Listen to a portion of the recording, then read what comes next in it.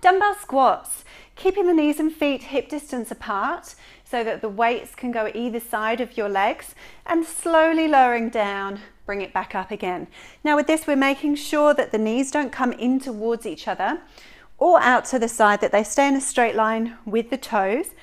And then also that the knees don't jut forwards. So they're staying roughly about the center of my foot, slowly down, reaching back up.